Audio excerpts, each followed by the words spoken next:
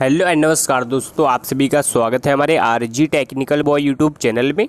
So friends आज की इस वीडियो में जो कि आप लोगों को बताने वाला हूँ कि आप अपने नोटिफिकेशन बार में यहाँ पर जो कि कुछ भी अपने लिख सकते हो। यहाँ पर अगर आपको कुछ लिखना है तो उसे आप कैसे लिख सकते हो? मतलब कोई मैसेज वगैरह अगर आपको लिख के रखना है यहाँ पर जैसे आप भूल जाते हो तो यहाँ पर कोई अपना नोटिफिकेशन लगा सकते हो। तो सिंपली आपको इस एप्लीकेशन की ज़रूरत लगेगी और इस एप्लीकेशन का नाम है पिन इन नेट कुछ इस तरीके से नाम है, आप देख सकते हो। यहाँ पे पिन नेट कुछ इस तरीके से इस एप्लीकेशन का नाम है उसका लिंक आपको वीडियो के डिस्क्रिप्शन बॉक्स में दे दूँगा यार। तो वहाँ से इस एप्लीकेशन को डाउनलोड कर लेना ओके सो उसके बाद यहाँ पर आपको क्रिएट के ऊपर क्लिक करना है, यहाँ पर टाइटल देना है मतलब क्या नाम मतलब क्या चीज़ आपको याद रखना है, ठीक है? वो आप यहाँ पे डाल देना तो यहाँ पे जैसे मैं लिख देता हूँ, उमेश हाँ उमेश को कॉल करना है।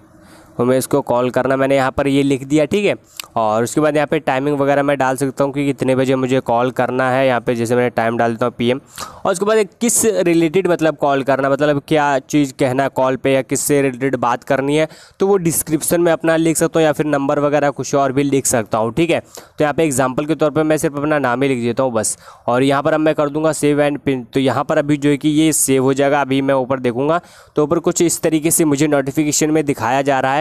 उमेश को कॉल करना है, पाँच पी को। यहाँ पर कुछ इस तरीके से दिखाया जा रहा है।